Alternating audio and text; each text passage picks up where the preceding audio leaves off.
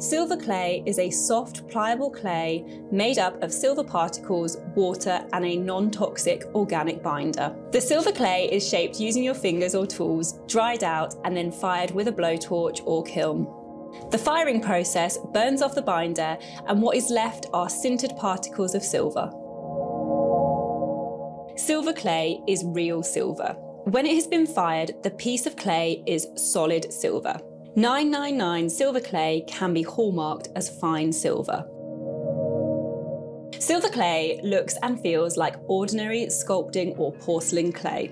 The clay is made of fine particles of pure silver mixed with a non-toxic organic binder. When the clay is dry and free from moisture, the binder can be burned away using a high temperature heat source. When the moisture and organic binder are gone, only the silver remains. After firing, the silver particles have essentially sintered together, resulting in a solid silver piece. Silver clay can be used and shaped as you would any other clay. It can be shaped using your fingers or with tools such as these silicone tools. It's important to work quickly as the clay can dry out. You can cut and carve the clay, when dry, you can file and smooth the clay. You can add stones as well as solder the clay after it's been fired.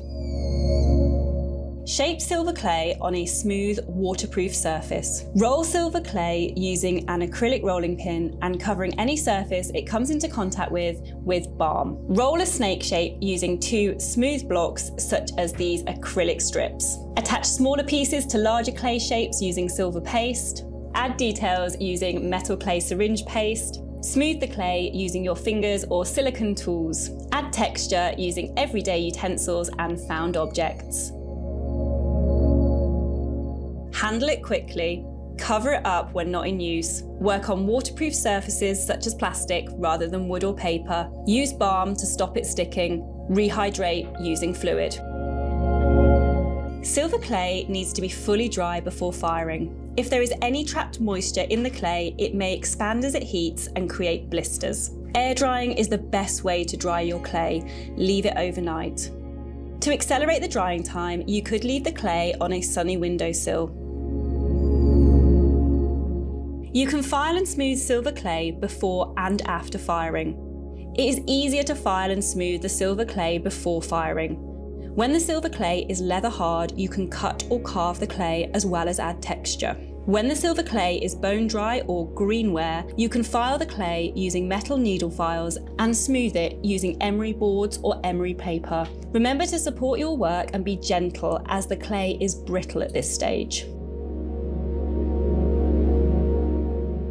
You can repair a simple break with silver clay paste, as well as fill in any cracks. Once repaired, leave to dry and smooth over again.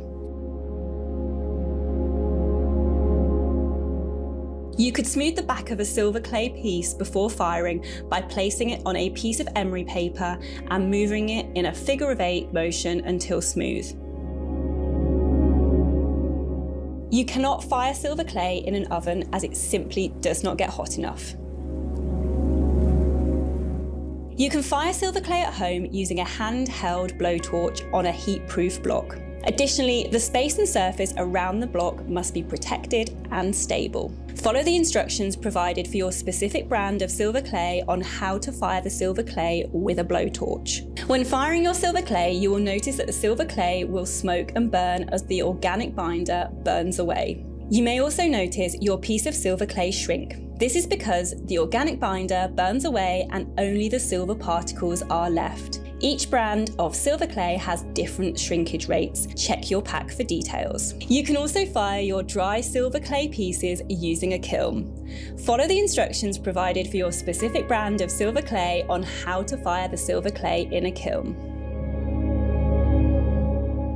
All silver clay shrinks when fired. Different brands of clay shrink different percentages. When the bone dry silver clay is heated to a really high temperature, the intense heat vaporizes the binder and water and leaves only solid, fully sintered silver, hence why it shrinks. When designing and making something from silver clay, you must consider the shrinkage. Patterns and lines will become closer together, holes and ring shapes will become smaller. All silver clay shrinks a different percentage. Check the pack for details. From 6 grams of silver clay, you can make this pendant. We've got lots of tutorials on how to make from silver clay. Follow the link. Yes, you can solder your silver clay pieces post firing. However, you must remember that if you solder sterling silver findings onto your silver pieces, you could not have these pieces hallmarked as fine silver 999.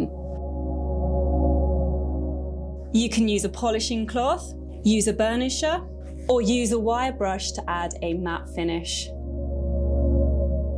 Yes, silver clay can be hallmarked. We would recommend you get in touch with your local assay office who can help you navigate this. You need very little to get started with silver clay. Handy equipment could include acrylic or perspex rolling pin, cutters, scalpel, emery boards, needle files, hand blowtorch, heat-proof block, burnisher. More specialist equipment would be a kiln, a barrel tumbling machine, and a soldering station. You can buy in store, over the phone, or online at cooksongold.com.